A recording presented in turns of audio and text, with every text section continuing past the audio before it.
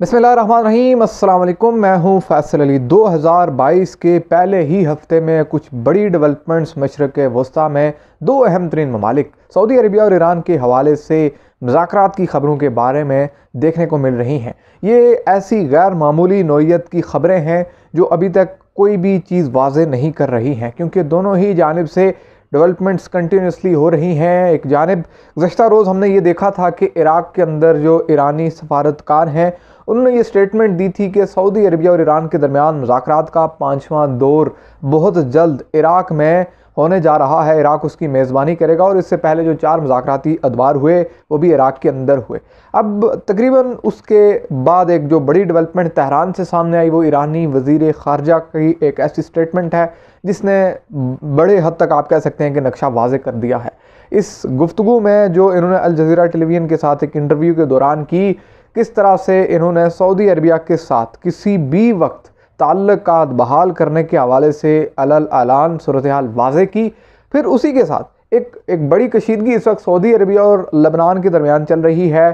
لبنان کے اندر موجود جو حزب اللہ ہے، اس کے جو چیف ہیں، سید حسن نصر اللہ انہوں نے ایک تقریر کی تھی تین جنوری کی شام کو، جس میں انہوں نے سعودی عربیہ کے شہزادے محمد بن سلمان کو دہشت گرد قرار دیا تھا۔ قاسم سلیمانی کی برسی کے حوالے سے ایک تقریب سے خطاب کرتے ہوئے انہوں نے خراج تحسین پیش کیا۔ قاسم سلیمانی کو اور امریکہ اور سعودی جو کوئلیشن ہے، جو مڈل ایسٹ کے اندر ایران کے اگینسٹ ایک اتحاد موجود ہے، اس پر انہوں نے سخت تنقید کی تھی اور اس پر اب جو ہے اس وقت سعودی عربیہ تپا ہوا ہے ٹھیک ٹھاک۔ لیکن سائیڈ بائی سائیڈ سعودی عربیہ اور ایران کے درمیان اس وقت کچھ بڑی ہیپننگز ہو رہی ہیں۔ آپ کے سامنے یہ ڈیولپمنٹ ضرور رکھیں گے۔ کہ اس وقت جو مثالیں دی جا رہی ہیں عرب میڈیا کے اندر جو تبصرے اور تجزیے ہیں، اس میں افغانستان کی جنگ کا ذکر ہے کہ امریکہ بیس سالوں تک افغانستان کے اندر اپنے اتحادیوں کے ہمراہ کاروائیاں کرتا رہا اور جب وہ وہاں سے بھاگا تو اس نے کسی کا کوئی خیال نہیں رکھا، وہ اپنا بمشکل بچاتے ہوئے وہاں سے نکلا۔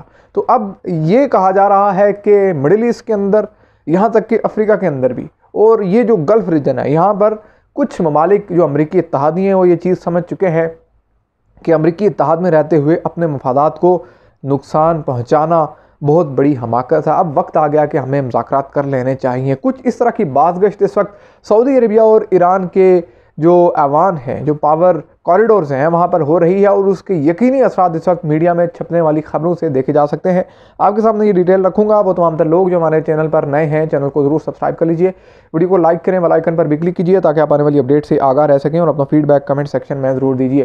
ڈیفینیٹلی یہ تمام تر ڈیولپمنٹ اس وقت میں بھی ہو رہی ہے جب یمن ایک اہم ترین اسٹریٹجک لوکیشن پر موجود ایک ایسا ملک جو درد سر بنا ہوا پچھلے چھ سال سے سعودی عربیہ کے لیے اس کی اہم ترین بندرگاہ حدیدہ پورٹ، یہاں سے گزرنے والا ایک یو ای کا کارگو شپ جس میں اسلحہ تھا، بھاری مقدار میں تباہ کن جدید اسلحہ تھا جو اسکوترا آئیلینڈ کی جانب بھیجا جا رہا تھا اور سعودی عربیہ اس کارگو شپ کے ذریعے سے یو ای کے ساتھ مل کر، اسرائیل کے ساتھ مل کر، یمن کے اس جزیرے پر اچھی خاصی تعداد میں ایک ملٹری انسٹالیشن جو ہے، ملٹری اسٹیشن جو ہے، اس کو قائم کرنے کے لیے اقدامات کر رہا ہے۔ اسی دوران یہ پیش رفت ڈیفینیٹلی بہت ہی اہم ہے۔ اب ایک چیز میں آپ کے سامنے واضح کرتا چلوں، ایک جانب ہمیں سچویشن تھوڑی سی انڈرسٹینڈ کرنے میں مشکل ضرور ہوتی ہے کہ ٹھیک اس وقت جب یمن میں اتنے بڑے کرائسز اور پچھلی ویڈیو میں نے آپ کو ڈیٹیل بتائیں گے تین سو نوے کے لگ بھگ یمنی انصار اللہ یا حوثی جو ہیں، ان کے جنگجو گزشتہ دو ہفتوں کے دوران، ڈیڑھ سے دو ہفتوں کے دوران سعودی اتحادی فورسز نے ان کو نشانہ بنایا فضائی حملوں کے ذریعے سے۔ اسی دوران لبنان کے ساتھ ٹینشنز ہیں، سعودی عربیہ کی۔ اور لبنان اور یمن دو ایسے ممالک ہیں جو بڑے ہی کنسرنڈ ہے ایران کے لیے۔ اس کے باوجود سعودی عربیہ اور ایران کے جانب سے جس طرح کی گفتگو دیکھنے کو مل رہی ہے، وہ بہت ہی زیادہ اہم ہے۔ زیادہ اگر آپ یہ کہیں تو اندرون خانہ سعودی عربیہ چیزیں کر رہا ہے۔ ایران کی چیزیں اب اوپنلی سامنے آنا شروع ہو گئی ہیں۔ کیونکہ سعودی عربیہ موسٹلی جس طرح کی گفتگو سعودی سفارتکاروں کی جانب سے سامنے آتی ہے، وہ یہ کہتے ہیں کہ اندرون خانہ ہمارے رابطے ہیں، ہم دو طرفہ تعلقات استوار کرنے کے لیے کوشش ہمیں کرتے ہیں، لیکن ہم کوئی چیز پبلک نہیں کرتے۔ ایران کا بھی تقریباً یہی معاملہ رہا ہے، لیکن اب جو جمعرات کو پیش رفت ہوئی، وہ اوپن ہے تقریباً، بڑی ویزیبل ہے، بڑی کلیئر ہے۔ ایک تو جو بغداد سے ڈیولپمنٹ سامنے ایرانی سفارتکار نے کہا کہ پانچواں مذاکراتی دور ہونے جا رہا ہے۔ دوسری یہ کہ ایرانی وزیر خارجہ جو ہیں، انہوں نے الجزیرہ ٹیلی ویژن کو ایک انٹرویو دیا اور اس انٹرویو میں جو ان کی گفتگو تھی وہ بڑی اہم ہے۔ ایک ایک ورڈ بہت ہی زیادہ اہم ہے۔ ان کا یہ کہنا تھا کہ سعودی عربیہ کے ساتھ موجودہ جو مذاکراتی ادوار ہیں، وہ بڑے پازیٹیو رہے ہیں، بڑے کنسٹرکٹیو رہے ہیں اور ایران جو ہے، وہ کسی بھی وقت سعودی عربیہ کے ساتھ اپنے سفارتی تعلقات بحال کر دے گا۔ The minister added ongoing dialogue with Saudi Arabia was positive and constructive and Tehran was ready to restore relations at any time اس سے پہلے ہمیں متعدد اطلاعات اور خبریں سننے کو ملتی تھیں۔ یہ کہہ رہے ہیں کہ ہمارا جو مذاکراتی دور ہوتا رہا ہے، وہ بڑا پازیٹیو رہا ہے، بڑی تعمیری گفتگو اس میں ہوئی۔ اور سعودی عربیہ، ایران کے ساتھ کسی بھی وقت اپنے مذاکراتی اس تناظر میں اب اپنے تعلقات بھی بحال کر دے گا۔ جو سب سے امپورٹنٹ چیز ہے وہ یہ ہے کہ ایرانی وزیر خارجہ نے جن دو مزید ممالک کو مینشن کیا سعودی عربیہ کے ساتھ، وہ ترکی اور مصر ہیں۔ اب ایران یہ کہہ رہا ہے کہ ہم ان ممالک کے ساتھ بھی بات کریں گے اور سعودی عربیہ کے ساتھ بھی بات کریں گے، سفارتی تعلقات بحال کریں گے اور آپس کے جو معاملات ہیں، جو ٹینشنز ہیں، ان کو ختم کرنے کی کوشش کریں گے۔ اس سب کے بیچ میں ایران کے وہ خصوصی جو سفارتکار ہیں، جو اسپیشل انوائے ہیں یا ایمبسٹر ہیں، جو او آئی سی کے اندر ایران کے ریپریزنٹیٹیوز ہیں ریپریزنٹیٹیو ہیں۔ ان کو ریاض بھیجے جانے کا فیصلہ ہو چکا ہے تہران سے۔ ان کو اب سعودی عربیہ بھیجنے جا رہا ہے ایران۔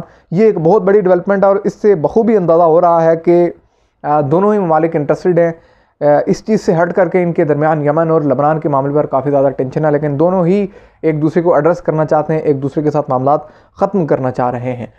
یہاں میرے سامنے اسرائیلی میڈیا کی بھی رپورٹیں موجود ہیں اور کچھ عرب میڈیا کی بھی میں آپ کے سامنے یہ ضرور رکھتا چلوں کہ اسرائیلی میڈیا یہ کوٹ کر رہا کہ ابھی تک سعودی عربیہ کی جانب سے اس تمام تر معاملے کی کوئی تصدیق نہیں ہوئی، کوئی انٹرسٹ نہیں شو کیا گیا۔ سعودی عربیہ کی جانب سے ایران کے اس اسٹیٹمنٹ کے بعد کوئی جواب ابھی تک نہیں آیا کہ آیا وہ بھی انٹرسٹڈ ہیں یا نہیں، لیکن میں آپ کو مینشن کر چکا ہوں کہ جب یہ خبر آ چکی ہے کہ پانچواں مذاکراتی دور شروع ہونے جا رہا ہے، عراق کے اندر تو ڈیفینیٹلی سعودی عربیہ بھی پوری طرح سے انٹرسٹڈ ہے۔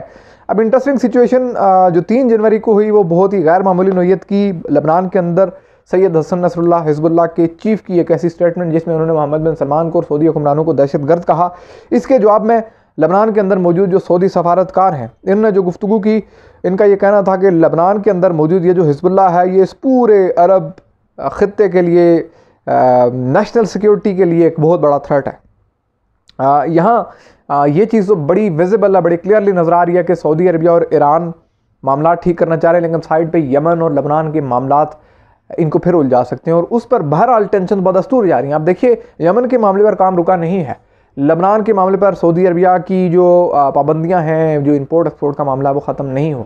باوجود اس کے صورتحال سعودی عربیہ اور ایران کے درمیان سائڈ لائن پہ چل رہی ہے اور اس چیز کو کم از کم دونوں مالک انڈرسٹینڈ کر چکے ہیں، شاید کسی حد تک۔ این ممکن ہے یہ سعودی عربیہ کا پلان بھی ہو۔ پلان ہے کچھ اور ہو۔ میں پہلے ہمیں آپ سے آپ سے یہ کہتا ہوں۔ کیونکہ ایک وقت میں جب سعودی عربیہ یمن میں بھی معاملات اوکے رکھے ہوئے ہیں ملٹری آپریشنز کیری کیے ہوئے ہیں ایئر سٹرائکس جاری ہیں، اسی دوران مذاکرات کی بات پس پردہ اور پانچواں مذاکراتی دور تو ہمیں تو یہی لگتا ہے کہ سعودی عربیہ یمن جنگ کا خاتمہ کرنے کے لیے، جان چھڑانے کے لیے ایران کے ساتھ مذاکرات کرنا چاہ رہا ہے۔ لیکن انٹرسٹنگ فیکٹر یہ بھی ہے کہ ٹھیک اس وقت یہ سب ہو رہا ہے جب امریکیوں کے رابطے سعودی عربیہ اور اسرائیل کے ساتھ بیک وقت ہوئے ہیں اور ان مذاکرات میں ایران کا جوری پروگرام بھی ڈسکس ہوا اور تو ڈیفینیٹلی سعودی عربیہ کے جو مفادات ہیں وہ بھی ڈسکس ہوا۔ تو یہ این ممکن ہے، مجھے لگتا ہے پلان بھی ہے، لیکن اچھا ہے۔ مذاکرات ہونے چاہیے، گفتگو ہونے چاہیے، معاملات ختم ہونے چاہیے، یمن جنگ ختم ہونی چاہیے اور بالآخر جو کہ آپ دیکھ سکتے ہیں کہ جب جو بائیڈن انتظامیہ برسر اقتدار آئی، انہوں نے یمن جنگ سے اپنے انٹرسٹ ختم کر لیا، سعودی عربیہ کو جو سپورٹ دی، جو ٹیکنیکل سپورٹ تھی، جو ایکوپمنٹ دیا ہوا تھا ایئر ڈیفنس سسٹم وہ سب ہٹا دیا، تو امریکیوں کے انٹرسٹ تو یمن جنگ کے اندر نہیں ہے سعودی عربیہ کی آپ کہہ سکتے ہیں کہ پشت اس وقت ننگی ہو چکی ہے۔ اس وجہ سے بھی یمن جنگ سے جان چھڑانا ان کے مفاد میں ہے تقریباً، لیکن باعزت طریقے سے وہ جان چھڑانا چاہ رہے ہیں، جس طرح سے امریکہ افغانستان کے اندر سے چھڑوانا چاہ رہا تھا۔ لیکن باعزت طریقہ جنگ میں سے جان چھڑانے کا کوئی نہیں ہوتا، صبح کی ضرور ہوتی ہے اور تقریباً یہ سلسلہ جاری ہے۔ فردر ڈیولپمنٹس جو ہوں گی، آپ کے سامنے ضرور رکھوں گا۔ چینل کو ضرور سبسکرائب کیجیے ویڈیو کو لائک کریں فیڈ بیک کمنٹ سیکشن میں ضرور دیجیے اور اپنی خصوصی دعا میں ضرور یاد رکھیے۔ اللہ حافظ۔